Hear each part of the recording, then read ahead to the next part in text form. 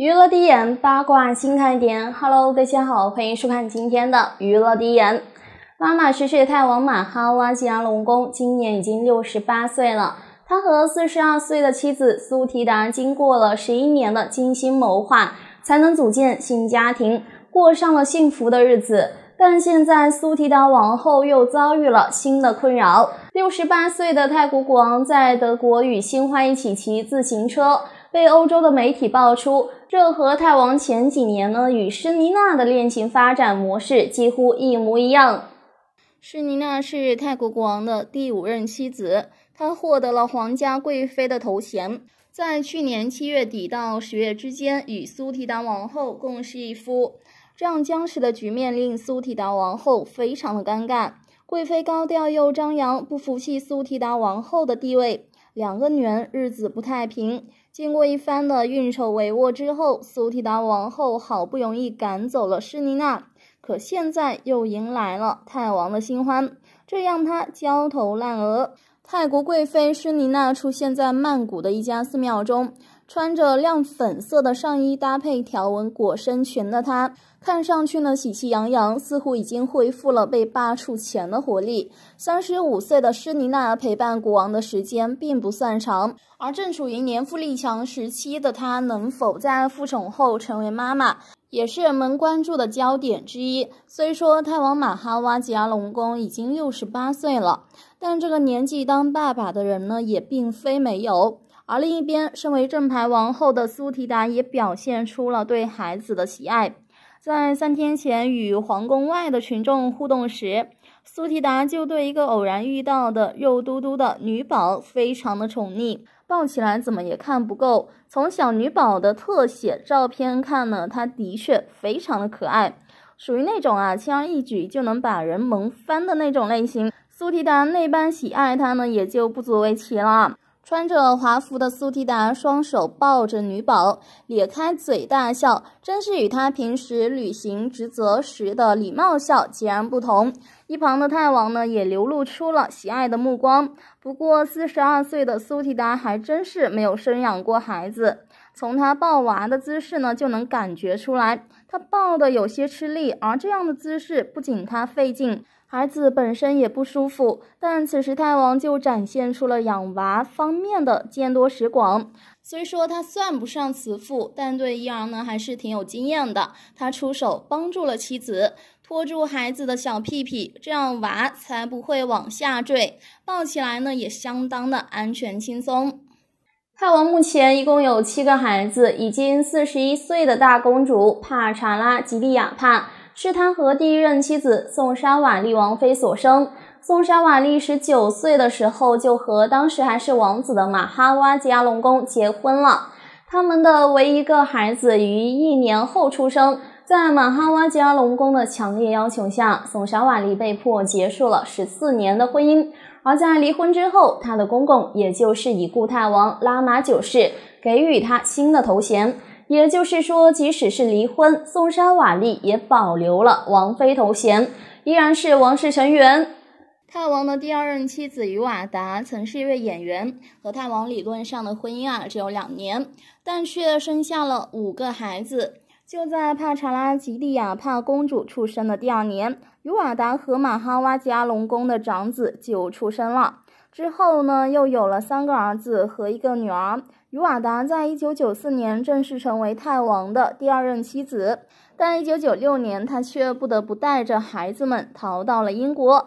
之后，只有女儿西里万娜瓦瑞公主回到了泰国和父亲同住，其他四个男孩呢和他们的妈妈都被剥夺了泰国护照和王室头衔，永远的留在他乡。虽说不被父亲认可，但四个兄弟呢还是非常的和睦的。时不时会有同框照出现。据悉，四个人都是学霸，均毕业于名校。不过，兄弟中的老三的身体状况呢不太好。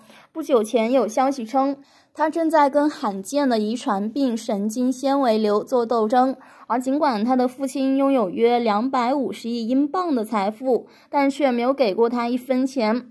马哈瓦吉亚龙宫的第三任妻子希拉米是公认的美女。而他也为泰王生下了儿子，现年十五岁的提邦公。比起四位同父异母的哥哥，提邦公呢还算是幸运了，至少被留在了父亲的身边，但却也不够幸运。他的妈妈在2014年因亲戚腐败而被迫离婚，并剥夺了头衔。据悉已经出家为尼，而希拉米离开王室后就再也没有和儿子见过面了。近期，泰王拉玛十世马哈哇吉拉隆功携王后苏提达出席祭拜先祖的仪式。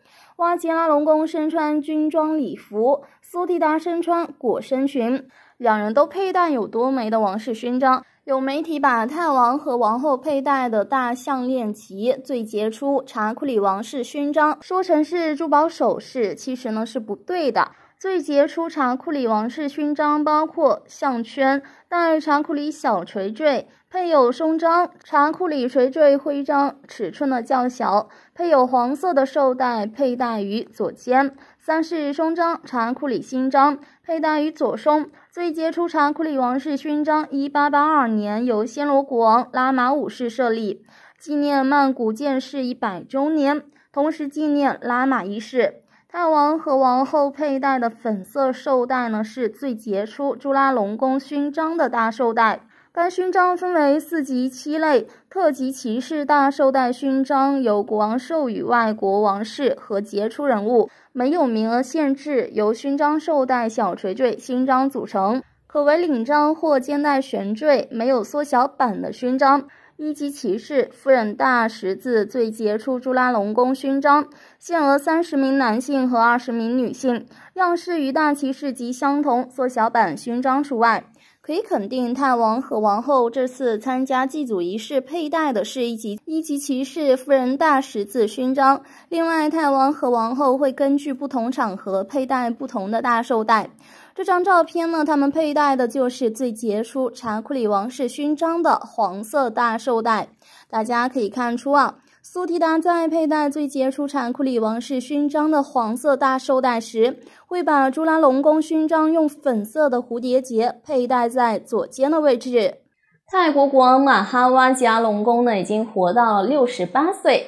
他是一个拎得清自己利益的人，对自己的后宫团成员进行了综合性的分配。王后苏提达一个人独居在瑞士。她虽然不是最受宠的女人，却是泰王心中最重要的妻子。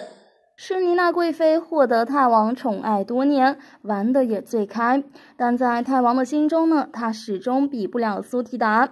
就在这两天，泰国国王在德国巴伐利亚州索内比切尔酒店发出了慰问信，向美国第一夫人梅拉尼亚送去祝福。别看马哈瓦吉阿隆功国王贪恋后宫生活。但在大小的面子事情上，他还是做的比较妥帖。他王主动关心美国第一夫人梅拉尼亚的身体状况，并向她送去了祝福。马哈国王这次有心了，他在慰问美国第一夫人的时候，不忘主动的带上王后苏提达。泰国国王的慰问函是这样写的：“我和王后都十分的关心您的身体。”虽然这只是简单的开头，但苏提达的位置已经被泰王呢摆到了台面上。泰国国王这样偏心王后，说明他还没有准备让施妮娜取代苏提达。这下苏王后也该安心了。苏提达王后是空姐出身，她在国王的保镖团里工作了多年，履历非常漂亮。泰国国王需要这样的一位妻子为他撑门面，同时兼具美貌和智慧，这是三十五岁的施妮娜贵妃所不能达到的。施妮娜当年呢是希拉米王妃的小护士，负责照顾提邦宫王子，之后呢才进入皇家部队训练，做了上校。施妮娜贵妃穿衣风格奇异，常套着小背心和泰王一起逛街，还被媒体拍摄下来。正在必要时会成为损害泰王的一把利剑，就像当年希拉米王妃的泳池派对一样。泰国国王很聪明，他让自己的王后苏提达保持完美，把个人的兴趣爱好都加持到了施妮娜的身上。这样呢，一旦国王被质疑偏爱奇装异服，那他能将所有的脏水泼向施妮娜，让贵妃像当年的希拉米一样做替罪羔羊。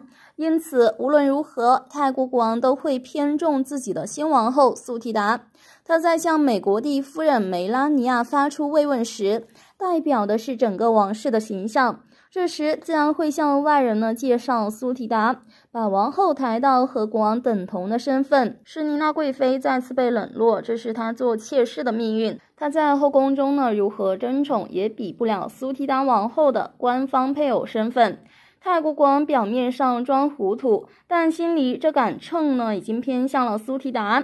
他不会让后宫出现双足鼎立的局面。苏提达是名义上唯一的女主人。泰国国王这个君主呢，做得很容易。他很少出国访问，也很少参加他国的宴会。为了履行自己的职责，他常常通过发送慰问信的方式来传达友谊。泰王有皇家助理为他打点一切，不过呢，关键的信息还要国王点头。助理可不敢做马哈瓦吉阿龙宫的主。四十二岁的苏提达王后这下得意了。她在泰王的心中不可取代。施妮娜贵妃赢得一时荣耀，但终不能保一生繁华。王室后宫的女人就是这样，她们努力爬上最高的位置，无非呢是想要有个稳定的未来。好了，今天的娱乐第一眼呢就先播送到这里。有喜欢我们的朋友，请记得点击右下角订阅我们的频道哦。拜拜，明天见。